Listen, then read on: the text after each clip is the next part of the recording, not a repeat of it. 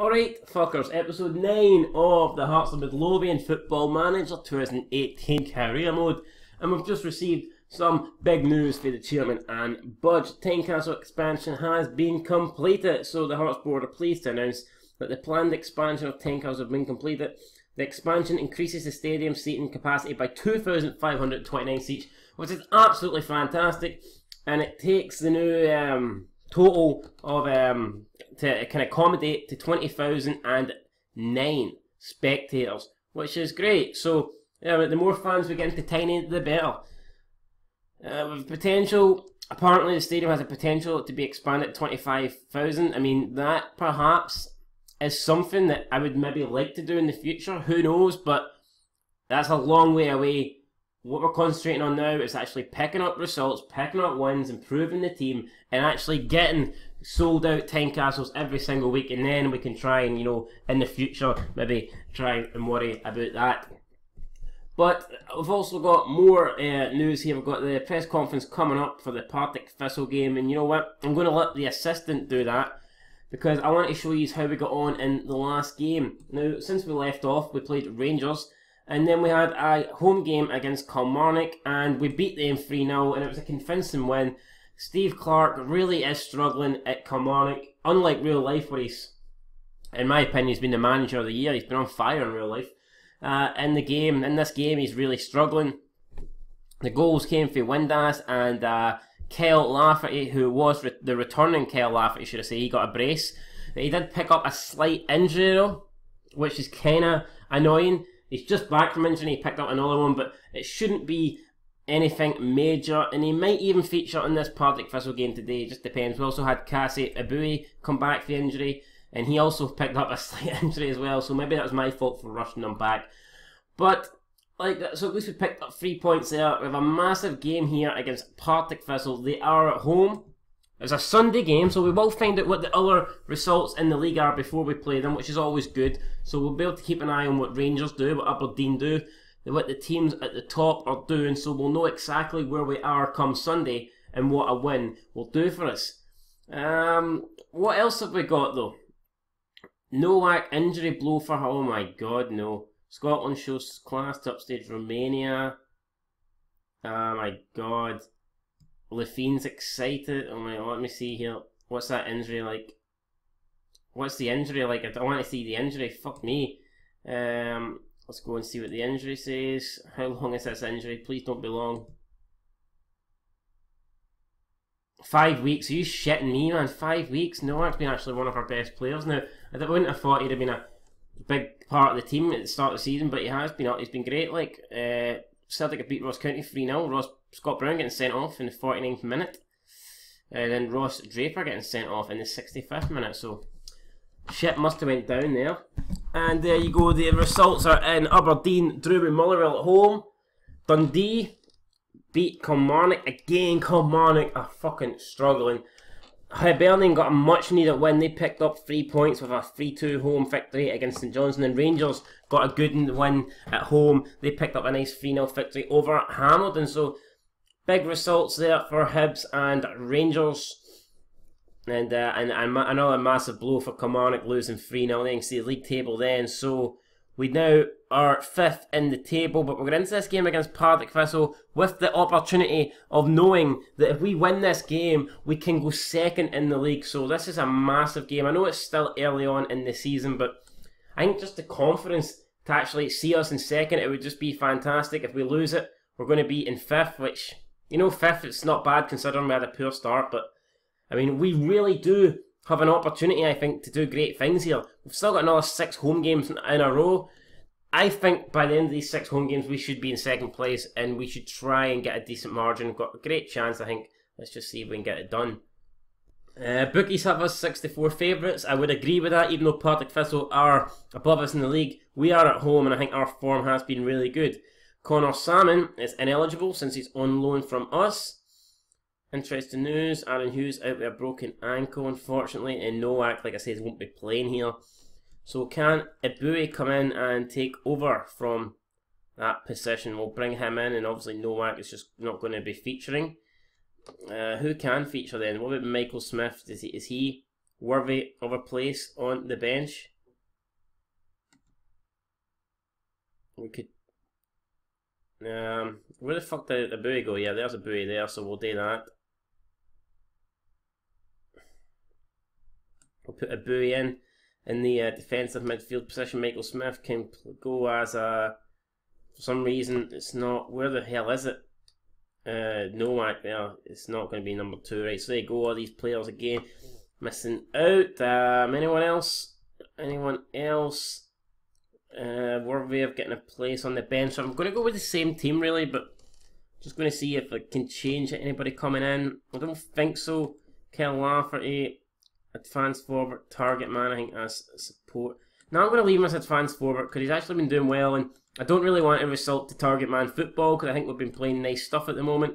And I feel that if we change that, we might just, you know, um, result to long balls and shit like that. So there you go. Going to go with this. Connor Randall will be coming in for Jamie Brandon, who is slightly injured as well. And it's, I think that's probably going to do it. We'll put who we put on the bench. We'll put on Cochrane. I think can get a shot on the bench over Jamie Brandon, who's not fully fit. And there you go, guys. That is going to be the team then that gets stuck into this match. McLaughlin, Smith, Brown, Berra, Souttar, Randall, Eboue, Shahum, Windass, Walker, Broadhead, and Big Kel Lafferty up front. Partick Thistle going with a 4-5-1. I, I play this formation quite a lot in FIFA. Pretty good in FIFA. Hopefully not too good in this game. I've got Cerny, Keown, Devine, Turnbull, Gaffarot, Barton, Osman, Lawless, Ryan Edwards, Blair Spittal, and Kris Doolan up front. So let's see how we get on. Kris Doolan loves a goal in Football Manager. He is like Cristiano Ronaldo. And uh, we'll see if he delivers that shit again today. Messi, Ronaldo, he's like fucking the two in one version of them. I am going to give the team talk. We're going to, we've been on a good run late. I want to be assertive. I want to make sure we get the win here. I expect nothing more than a win.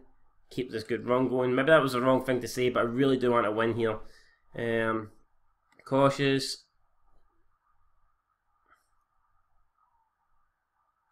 There you go. Let's get this done. Come on, lads. Here we go. Hearts kick it off with Kel Lafferty. Massive game at stake here for both teams. Just having a look at the league table. Like a draw will keep Partick Thistle in second.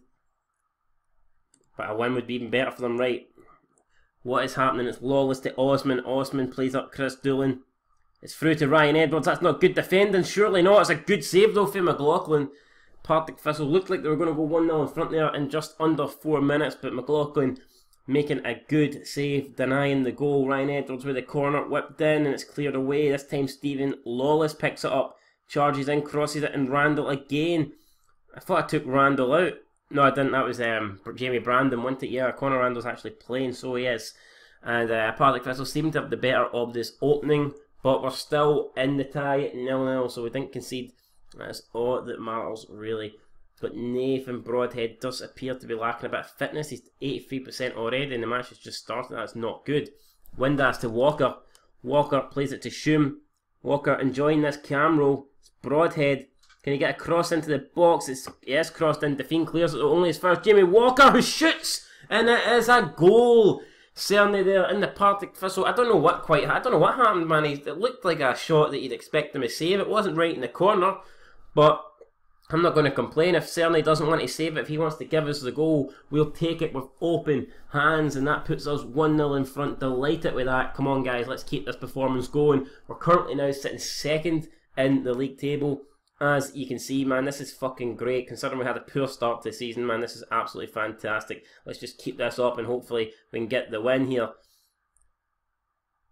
Ball played up to Kris Doolan. He brings it down. He hods it up. He finds Blair Spittal. Spittal, man, is completely just, oh my, the ping pong at the moment. Can he keep up with this action? Right, Adam Barton. Back it to Spittal. Barton. Oh no, he's played through Kris Doolan. Is it Kris Doolan or is it Cristiano fucking Doolan? Well, not with a shot like that. It's not almost hitting the corner flag. Jamie Walker with the free kick. It's back to Jamie Walker. He's got another opportunity, a second bite at the cherry. Crossed in, cleared away. Shum. Can Shum do? Shum to Broadhead. Broadhead. He's brought he's going all the way back into his own half. What the hell's he playing at? Shum, Walker, Broadhead, Shum. Crosses it in, back post, Walker with the header, and it's a save from Cerny. 18 minutes in so far, and a lot of action, man. We've had good chances at either end. We took ours though, and that puts us 1 0 in front.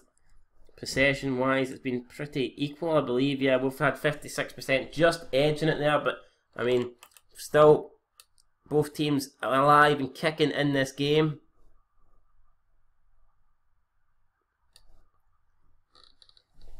Twenty-four minutes gone now. What have we got?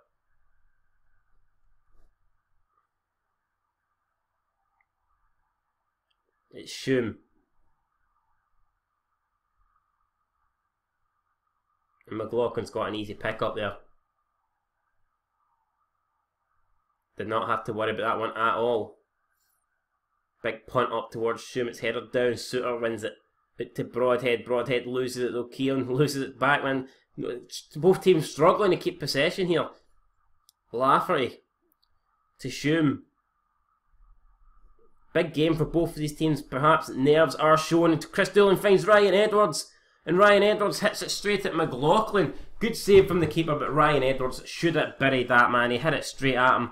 And that is poor. That's very poor.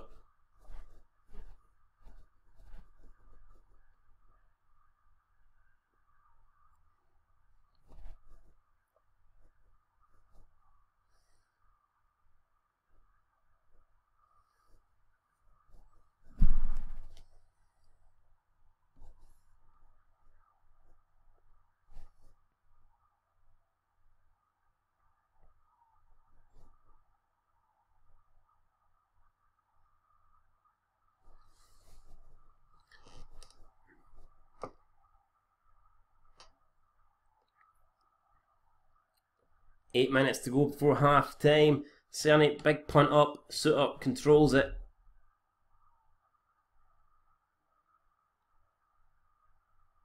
And it finds its way back to Cerny. And uh, this is very. Don't know if this is supposed to be a highlight, but not. Oh shit! Ryan Edwards is through! And he's missed again! Are you shitting me? I mean, I don't know how many chances Partick Thistle want, but they're squandering so many here. That's twice this. That's three times actually where they've had like one on ones and they've they've uh, missed them all. Like I mean, that he didn't even get that one on target. That was really bad. Corner coming in now as Berra heads it down to Shum, and Shum doesn't miss. Get the assist from Berra, Shum with the goal, 2 0, just on the brink of half time, and that really is a game changer. I mean, it was all bloody uh, Partick Thistle there in the last few minutes. They were creating chances created a one-on-one chance, didn't take it, and then all of a sudden we take it, and that could just break the spirit of Partick Thistle as we take a two-goal lead going into half time, and surely this is our game to lose now. Half time, just need to stick at it, man. Just tell the boys more of the same. Um, going to be assertive though. I'm um, yeah, that could you're winning, but don't let perform, don't let spit levels drop. Hopefully, I want to try and give the lads encouragement, but also don't be too harsh on them. But I mean, I want to give them encouragement to keep the levels up, but also praise them at the same time. And they're bringing on Miles Storey, Mc, Mc, uh, coming off, so Partick Thistle not wasting any time. They're going for it. They know that they need to get back in this.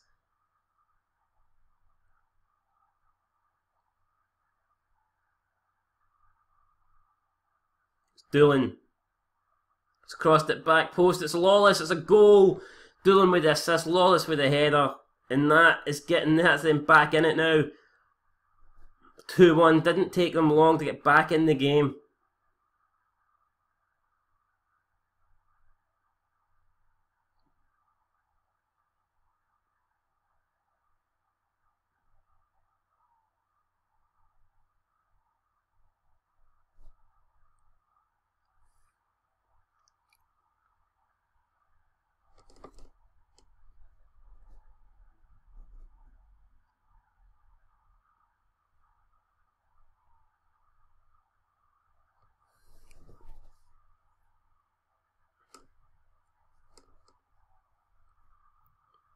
69 minutes gone now. Lafferty, nice lofted ball over to Windass who runs onto it. It's been brought down.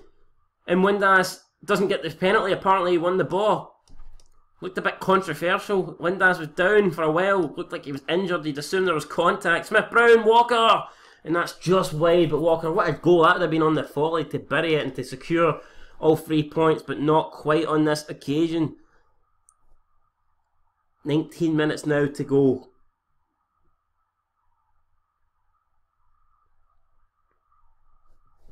Walker, he's been dispossessed. Ericsson plays it straight to Broadhead. Partick Thistle now getting sloppy here as they're, they've still got a lot of time. There's 18 minutes. They don't need to do anything uh, drastic just yet. It's Lawless though. Oh, that's another good save by McLaughlin. Surely though, Lawless should have did better there. can't help feel that, but they should be scoring these goals. I'm not going to complain because it's keeping us in the lead here, but I mean, I just feel like they should be scoring these goals, man. Right, going to make a substitution there now. We've got Jamie Walker, who is injured. He will be coming off. We'll bring on Harry Harry Cochrane. Why not? Who else can we bring on? Bring on Maitland Niles, I think, for Connor Randall. He's not had the greatest game, and then one more sub. Who should we bring on? Maybe Kel Lafferty. Don Kirby. Do we bring Don Kirby on? He's only about wanting game time. Um, we'll bring Don Kirby on for a buoy. There you go. Try and keep Don Kirby happy because he was he was complaining about lack of game time, lack of minutes. Hopefully, how we sub. Oh fuck me! No, I need to go tactics. Please don't concede here. I'm trying to get into the tactics. I'm trying to. Good save for McLaughlin. I'm trying to fucking go on to defend here, defensive. Uh, there you go, making the changes now. It's Windass, big launch up forward to Harry Cochrane. What can the substitute do? He's offside. So he can't do much, can he?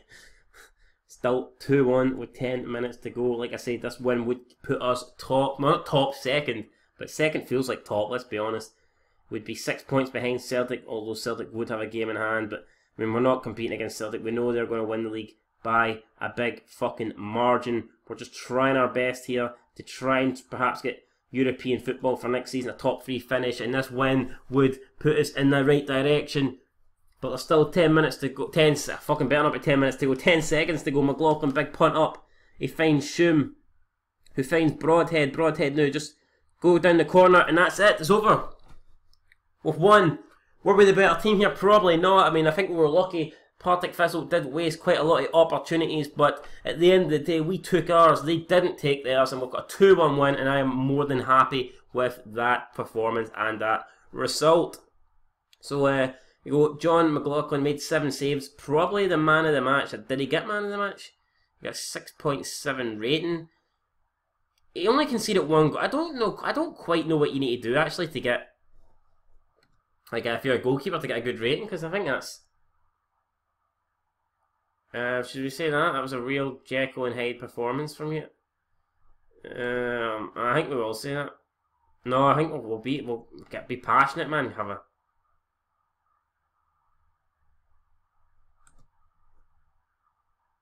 Um, well done, lads. That was a good win for us, and most of them have reacted positively. And that's what it's all about, guys. Team spirit, team community, team cohesion. We're, we're going in the right place, man. We're going in the right direction.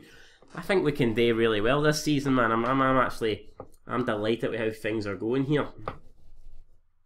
So we've got Hearts enter the Euro Cup race. You're damn right we're in this Euro Cup race, and I think we've got a good chance of getting it.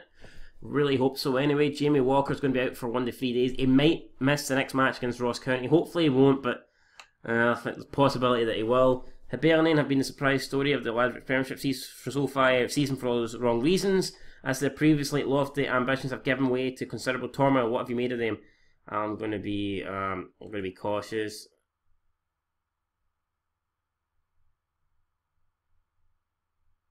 I'm going to um, I'm going to say that yeah, they're too good to struggle. I do actually believe that. I don't, I don't know why Hibs are doing so bad. They're doing bad in FIFA as well. It just must just be I don't know. The makers of these games must be mustn't be Hibs fans. They must hate them or something. Um, uh, calm, I am pleased. It's nice. It's up to them to keep going now. You've enjoyed a brilliant season so far, defying expectations at every turn and have become a most compelling story. How far can your team go? Cautious. Um, we can only take things one step at a time. Kris Doolan was brilliant today, Cam. He's a very good player. I'm sure his manager will be pleased with that performance. Gibson raises Broadhead fitness concerns. I, I did know that. I mean, I think it will. Uh, I'm not. I don't. I'm not going to tell Broadhead I'm resting him, but I think I will just go ahead and rest him next time out against Ross County because I did notice that his uh, fitness was struggling in that match, so we need to take care of him. And there you can see now in the league table that puts us into second. And although we have played a game more than Mullerwell, so Mullerwell have got an opportunity to go back in front of us. But if you look at the form of the top three teams, look at that Celtic, Hearts, and Motherwell. We've all won four and drew one of our last five. So the top three teams are definitely the top three teams on form, no doubt about it. And then you've got Kilmarnock, they've lost they lost the last five in a row. It's not looking good for them, is it? I mean, look at those look at those results. I mean, they're they're fucking awful, aren't they? Um, so surely it's only a matter of time before Steve uh, Clarke gets the sack, and I think that's sad, but that's just the way it's going to bloody go, isn't it? Um, have a look at the job centre, and we'll, if I can remember how you get to the job centre, jobs, job security. That's what I'm going to look at because I'm pretty sure Steve Clarke, his job is very insecure. I'm not surprised about that. I mean, he's having a really bad season. You've got Derek McInnes. His job status insecure. Now, I think that's harsh considering all the good things he's done at Aberdeen. Just to, you know, all of a sudden his job be insecure because they're seventh. Now, I know they're, they're having a bad season, but I think he will turn it around. I hope that he doesn't get sacked. And then you've got Neil Lennon, whose job is stable, and, and he's having a lot worse season than. Uh, than Derek McInnes something. So that's that's weird. But looks like Steve Clarke really does need to change something. He needs to start getting wins, or he could be out of a job. But anyway, enough about Steve Clarke. Let's talk about Son of Scotland. 98 and doing great. Let's look at the next few games and see where we think we'll pick up points. So like I said, we've still got that run of home games to go. Another five home games in a row, ending with a home tie against Celtic, which will be televised. That's probably the next game I'll come back for. So I think I'll play these four games offline Ross County, Hamilton, Motherwell, and Celtic. And then we will be back for this game against Celtic at home. And then we'll probably play St Johnstone offline. And then we will be back for this away uh, home tie against Hibernian. And maybe, who knows, Maybe I'll do a double header, Hibernian and Aberdeen. It'll be interesting to see if Neil Lennon and Derek McInnes are still there. Will both of them still be there? Will one of them still be there? Or will both of them be gone? It's only one way to find out, guys. That's to like and subscribe, comment down below. And uh, we'll be back next time with a huge match against Celtic. We've already beaten them once this season. Why can't we do it again? Oh we haven't beaten them once. We, we got beat by them. Fuck me. I thought we beat Celtic. That's in FIFA. I'm getting confused. Fuck. Fuck. Fuck. Right, so well, a 1 0 defeat against Celtic at, at Parkhead is not a bad result anyway, so hopefully we can go one better at home and get the win. Thanks for watching, guys, and until next time, peace.